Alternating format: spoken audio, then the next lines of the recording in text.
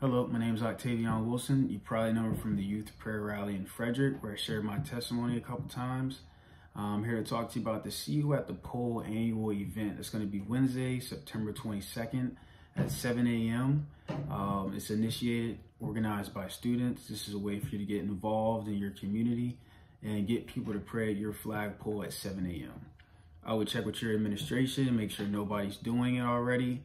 If not, go to syatp.com to get all the info about how to go about setting it up so you can pray at your flagpole with people around you. Um, after that, uh, let us know how it went. Hashtag Rally Frederick on Instagram and Facebook to let us know how it went. The theme this year is Just Pray. Uh, Jaslyn Sly and her family um, gifted us a song that goes by the same name, Just Pray, that fits our theme this year.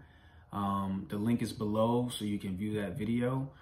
Also, the Forbes sisters um, recites Colossians 4 and 2, which devotes people to prayer, which also ties into our theme this year.